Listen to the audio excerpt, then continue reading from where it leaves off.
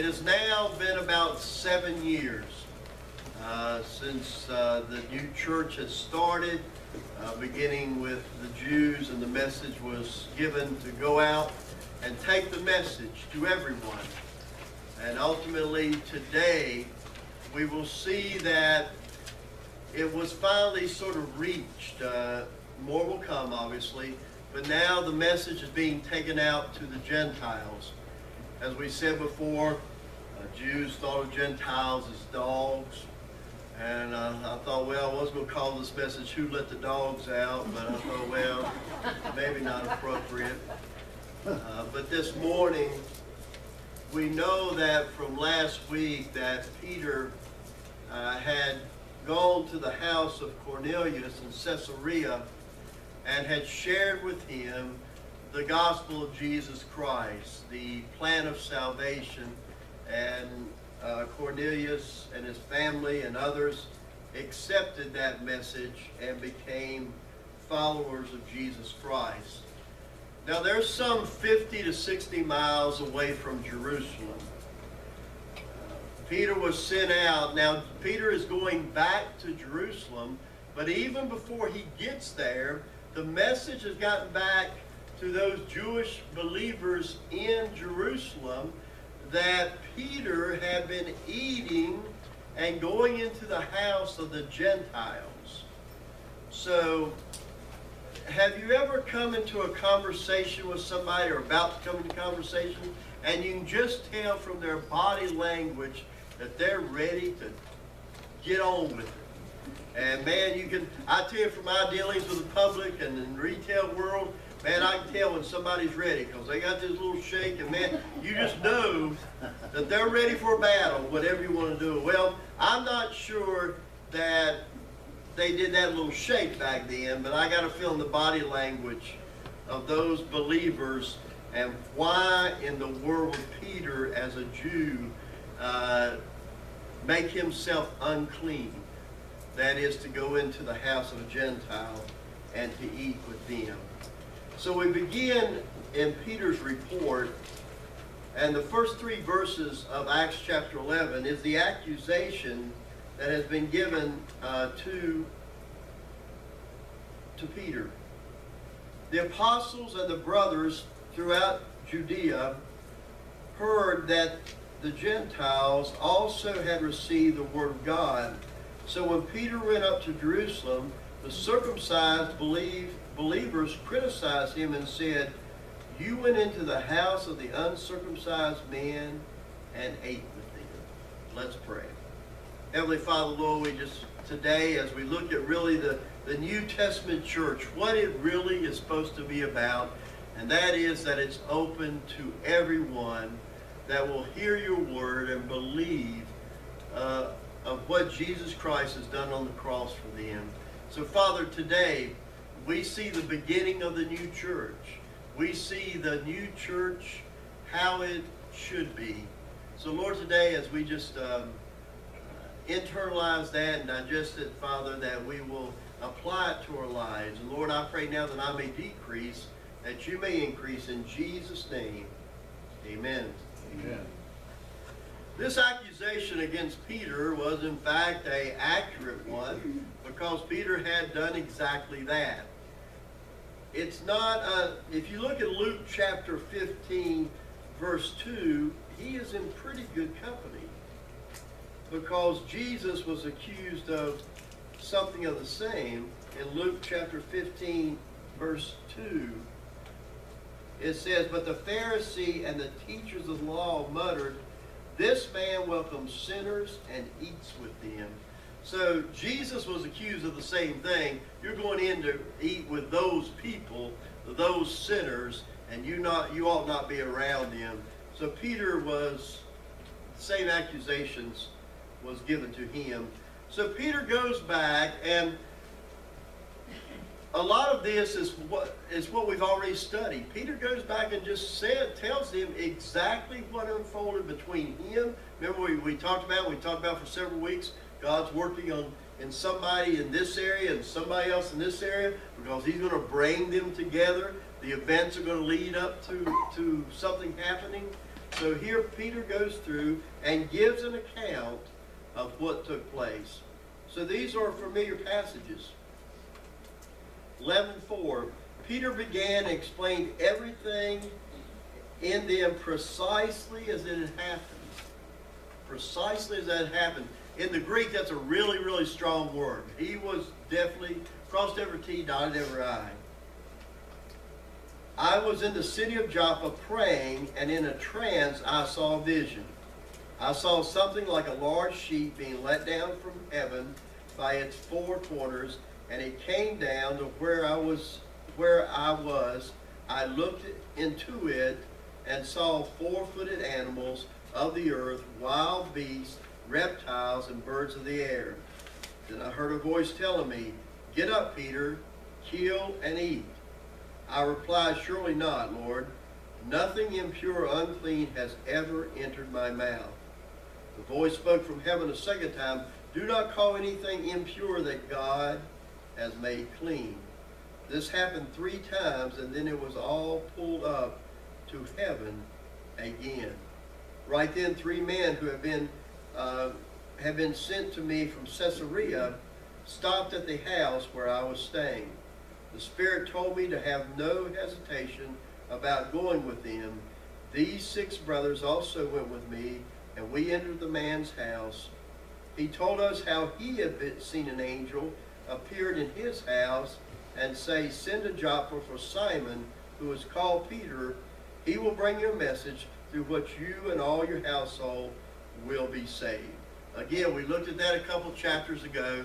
Peter saw the vision and uh, those unclean animals and the dietary requirements of the Jewish people were not to eat those. And, and the Lord said, get up and eat. And as we read here, Peter says, Lord, I will never eat anything unclean. And of course, Peter's, uh, the Lord says, what I have declared clean, don't you dare say unclean. And we looked at that of, of uh, how we respond to people and how people look different, dress different from different places, but all people, all people are made in the image of God. And we ought not to talk uh, contrary about people, but be an encourager for the message. So Peter went through all that and just told them exactly what took place.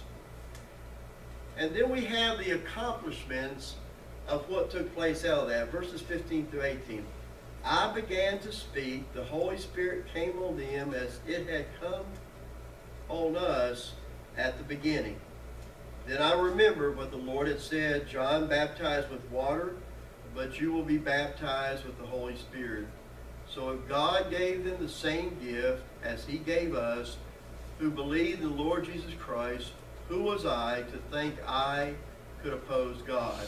When they heard this, they had no further objections and praised God, saying, So then, God has granted even the Gentiles repentance unto life. You just can't emphasize enough what this means. If it didn't, if we this wasn't please get that because if you don't, you're gonna miss everything else. If it was not open to Gentiles, it was not open to you and I. And for really seven years, they had not really gotten that.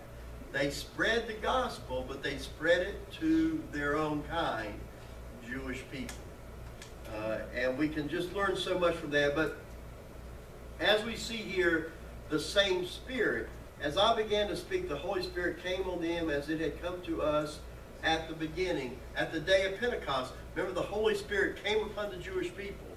And Peter says, I want to tell you that the exact same Spirit that came to us at Pentecost, us Jewish people, is the exact same Spirit that came upon the Gentiles. Boy, what an overwhelming statement. It's not that the Jews are a little bit better. We know the Jews are God's chosen people. That's a whole different uh, uh, study. Uh, but nonetheless, it is the same Spirit that came to them, also came to us. Right here is where we got earlier, uh, last couple of weeks, that we knew that there were six people that went uh, with Peter uh, back to the house of Cornelius, and they were Jewish people. And we, we got that because this tells us there were six of them. And really, I believe the main thought was they want to make sure not only did Peter see it, but those six Jewish believers also saw the coming of the Holy Spirit and said, it is accurate. It did happen that way. It was also the same strength. In verse 17, so if God gave them the same gift that he gave us, who believe in the Lord Jesus Christ, who was I to think I could oppose God? Well, that's a pretty strong, strong statement. Who am I to feel like I need to oppose God? God, when the Holy Spirit is working in believers' lives, and they know that it, it's they are being directed by the moving of the Holy Spirit, we ought to be in support of that because it is of the Lord. And uh, here, Peter's saying, What was I supposed to do? It's of the Lord. You tell me. No one had anything to say. In verse 18, we see it's the same salvation. When they heard this, they had no further objections and praised God, saying, So then, God has granted even the Gentiles repentance unto life. Again, they were referred to by the Jewish people as dogs. God moves, folks, and maybe you're a witness to this. God moves in miraculous and supernatural ways. Never, never feel that anybody's beyond the touch of God. That God can meet people, God can work with people, God can change people's lives. Salvation is open to all people. So who am I to say, well, no, those people? I mean, I know he meant everybody, but you don't know him. No, God can do it in many, many different ways. Now we move from Peter's report to the whole changing, the, up to this point, the sort of spiritual hub, the, the essence of where it all took place, the Jesus thing took place, was in Jerusalem. Starting right now, it, from the rest of Acts, you're going to see as the main hub, the main focal point, the main place of, of the Jesus actions is the church in Antioch, the Gentile church.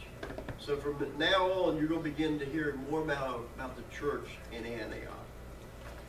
So in verses 19 through 21, we have the New Testament church. Again, seven years away from Pentecost. Pentecost.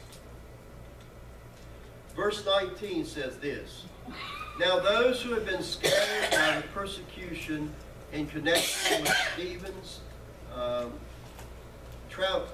in connection with Stephen traveled as far as Phoenicia, Cyprus, and Antioch, telling the message only to Jews. Well, they didn't quite get it, did they?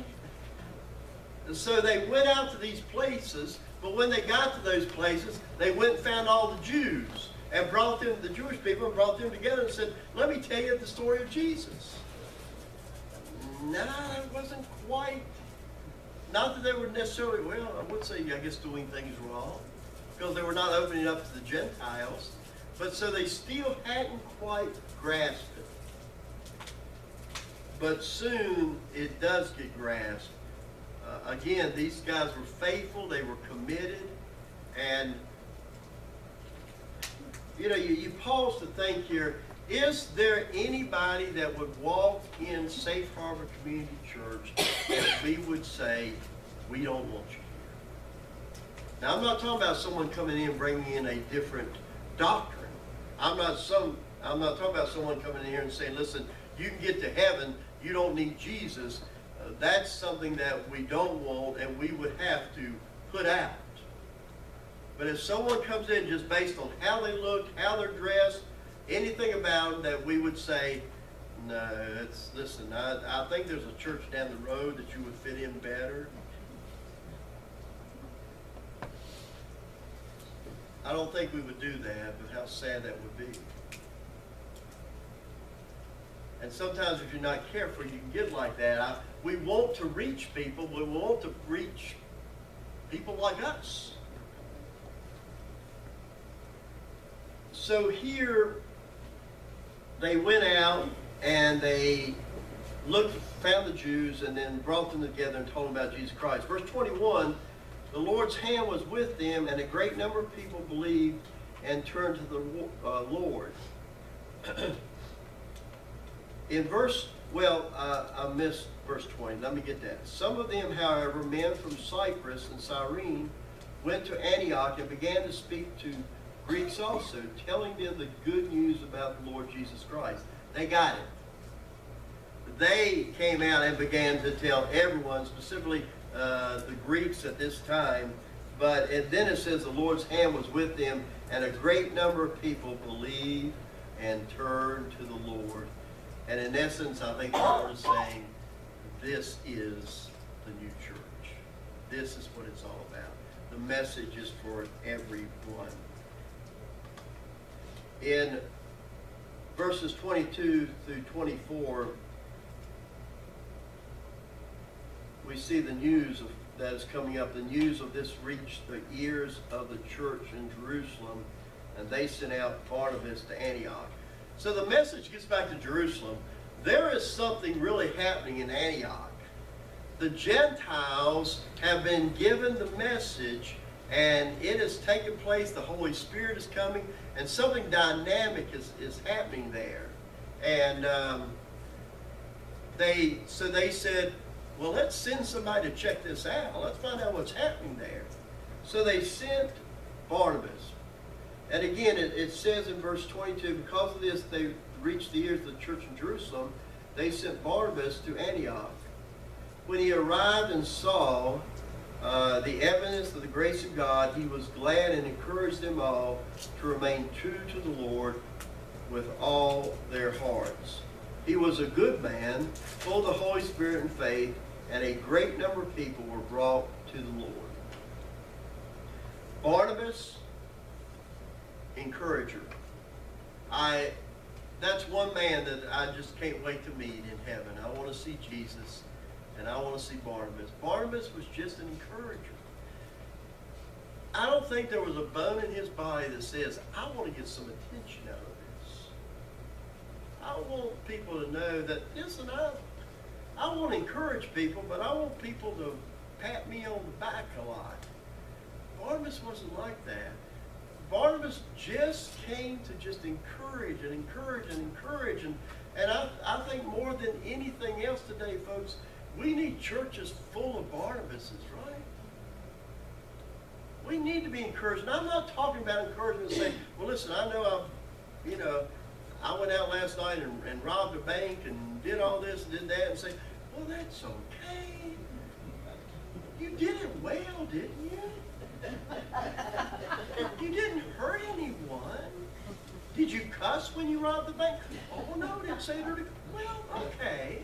Now, we can work on some things, but it's not being blind to sin because sin is sin and shouldn't be in our lives. But we are all sinners saved by grace. And did anybody rob a bank last night? Because I really, uh, yesterday or Friday, because I don't, I don't know. Um, but we do need encouragement. We need someone to pull alongside of us. We need someone to support us in our walk. We need God's family, and we need each other. And Barnabas was just like that. If you really want to see it happen, when you look at this next one, it looks like something that how in the world, who would do this? Look at look what happens here, and it's the next step. Verse 25 26. Then Barnabas went to Tarsus to look for Saul.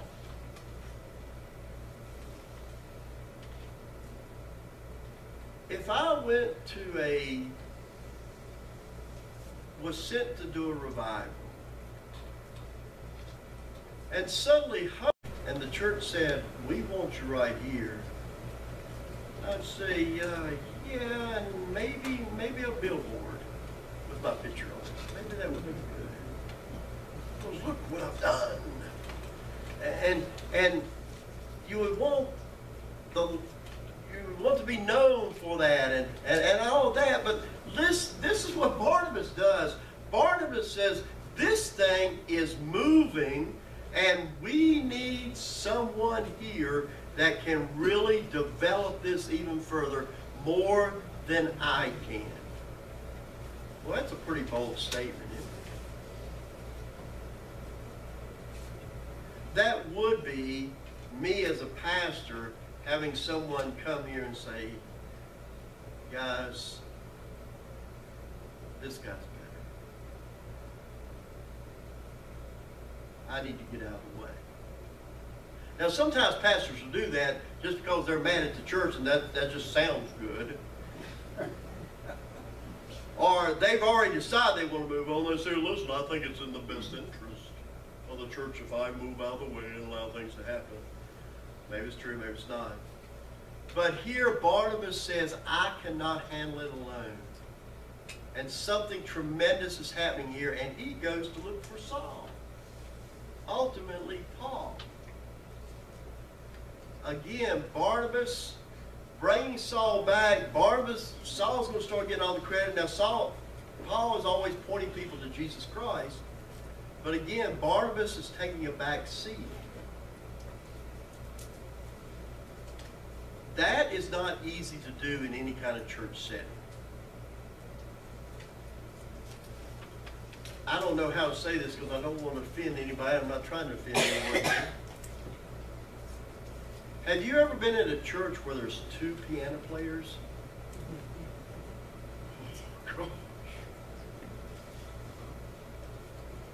Now, I'm not trying to tell you to go back and think about that situation, except for this. It is an uncomfortable situation when somebody wants to play the piano, somebody else is playing the piano, and they don't want to give up playing the piano, and they're not going to do this and do it. Barnabas was playing the piano and said, Saul's a better.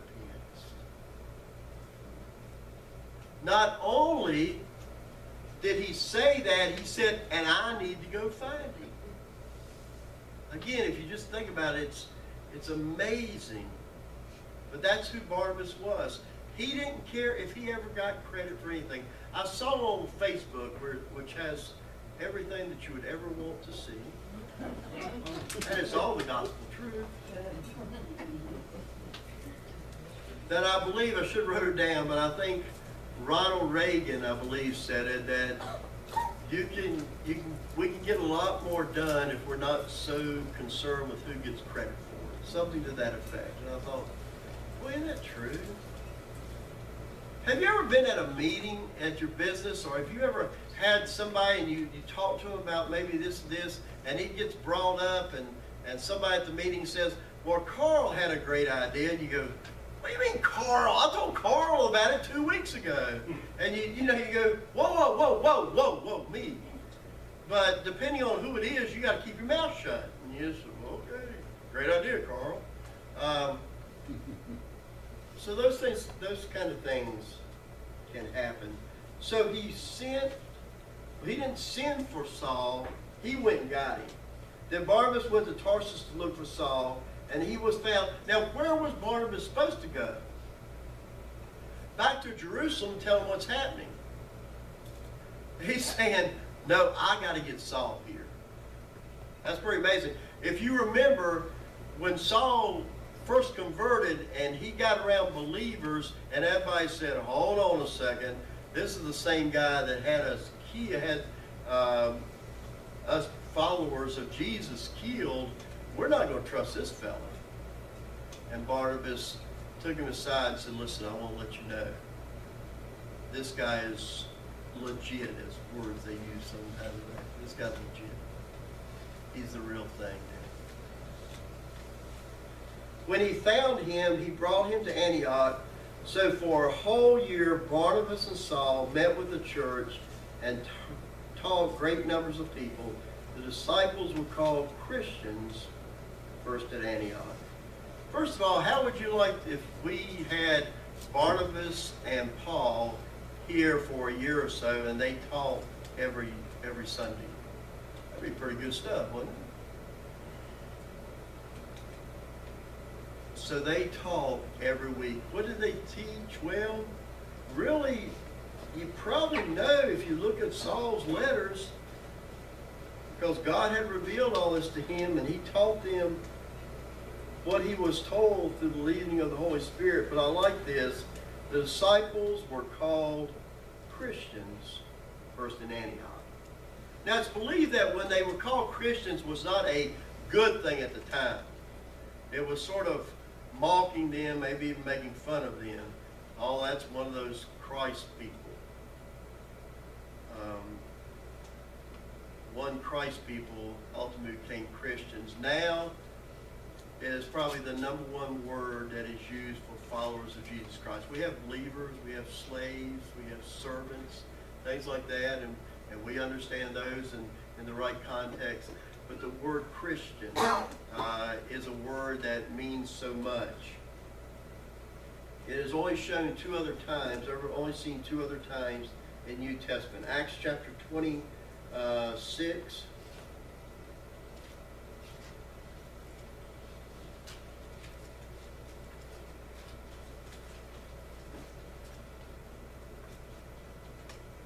Then uh, Agrippa said to Paul, Do you think that in such a short time you can persuade me to be a Christian? Paul replied, Short time, a long time.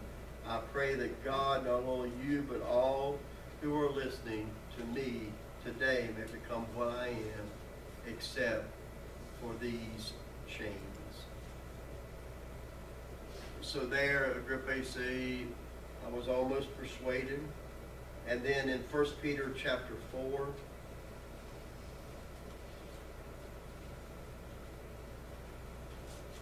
verses 15 and 16, if you suffer, it should not be as a murderer or a thief or any other kind of criminal or even as a meddler.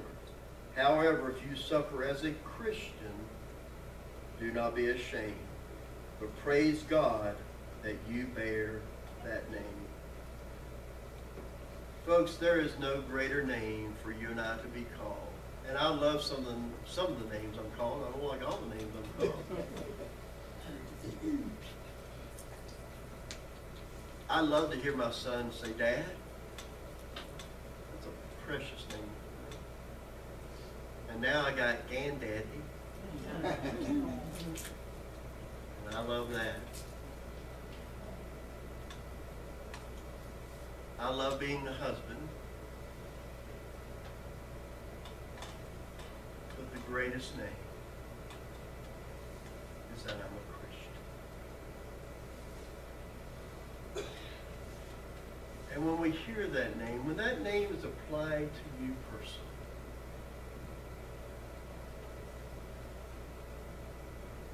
what does it mean?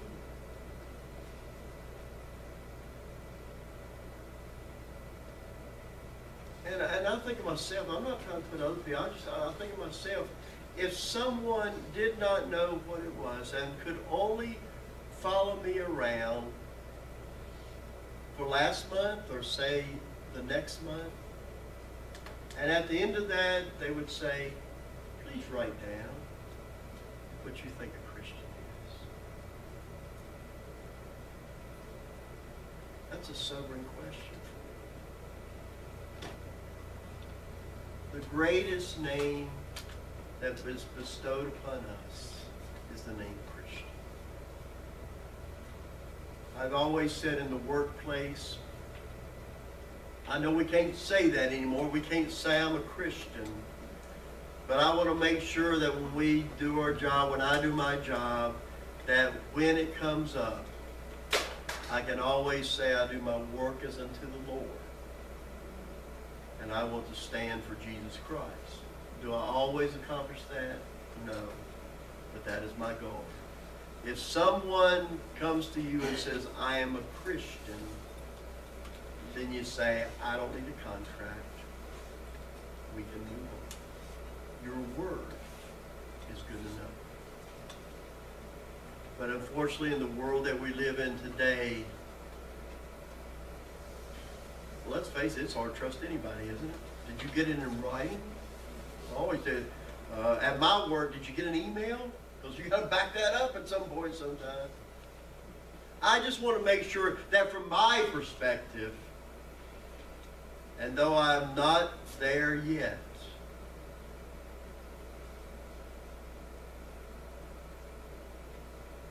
that I uphold the name being a Christian. What a great name. Closing with these verses, we won't spend a lot of time because they are also going to help us now through the holiday season. We'll be away from Acts and pick it up at the first of the year. And this is just going to sort of be a platform to move us into the next step. But verses 27 through 30, during this time, some of the prophets came down from Jerusalem to Antioch. One of them, named uh, stood up and through the Spirit predicted that a severe famine would spread over the entire Roman world. This happened during the reign of Claudius. The disciple, each according to his ability, decided to provide help for the brothers living in Judea. This they did, sending their gift to the elders by Barnabas and Saul. So the church that was founded by the main church, they realized that a prophet was telling them that a famine is going to happen. And so the starter up church took up money and other things to send back to the main church, the, the founding church of, of it all. So, um, and we do know that with Emperor Claudius, that probably this happened in about 45 or 46 AD. So it did, in fact, by secular historian, historians, we know that indeed several famines happened under him. But what do we see in all this? We see the new Christian. And the new Christian is, shows uh, compassion. In a world where we're too busy, compassion is a good selling point for a Christian. They have compassion. We already know Barnabas and encouragement. They encourage one another. I, I tell you what, I've taken this so much to try to take so much to heart that that my goal now is that uh, that in my workplace and in my in the highways and byways of life, I'm going to do my absolute best to just be an encouragement. And that's going to be a challenge sometimes because sometimes when you encourage and say, man, you did a great job on that, you want to say, yeah, you did a great job on that, but you know, did anybody see what I did? And I'm saying, God, I need your strength and your power because the, the human side of me will not be so easy to always say, great job, someone. Oh, I'll do it once I get recognized, but um, so encouragement. And then with Barnabas, there was a oneness. They pulled together and did some things. We know from a church our size, we don't have a lot of extra money. And I'm just, this is just something that's just been in my mind, and I'm not telling, say this is what we need to do, because I'm not saying it's coming from the Lord this time. Just something that hit me. Would it not be nice, and I'm not, I'm not trying to build up support for this, vote for me, because I'll, um, would it be nice if we know what the budget is to keep this church afloat? and say, God, everything else that comes in, we're going to give it to people.